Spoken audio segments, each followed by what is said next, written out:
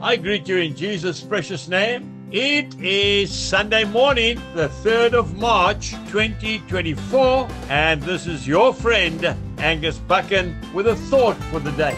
We go straight to the Gospel of John and that very, very famous scripture, chapter 3 and verse 7. Jesus says, You must be born again a beautiful old book was sent to me by a farmer in England a few weeks back. A beautiful book. It was written in the 1950s. And in it was a beautiful illustration, which I want to read to you because it touched my heart very deeply. It goes like this A father lay on his deathbed and was taking farewell of his family as they stood around him, affectionately greeting his wife, his daughter, and the sons. He used the same expression to each one of them. Good night, my dear. When we meet again in the morning, there'll be no night there. But then turning to the youngest boy, he put out his hand and said,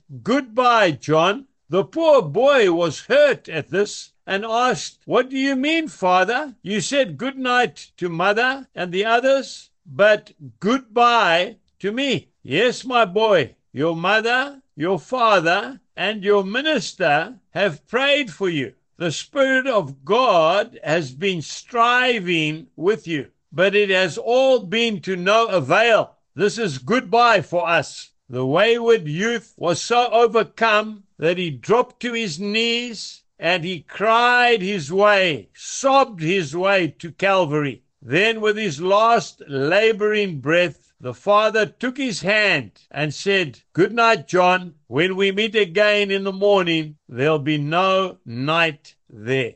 Maybe I'm speaking to a, a wayward son, a wayward daughter, I would encourage you not to leave it too late before you are born again. Maybe you'd like to repent right now and pray this little prayer with me. Dear Lord Jesus, I've heard this little story. It has cut me to the quick, and I know that I'm not in the right place with you.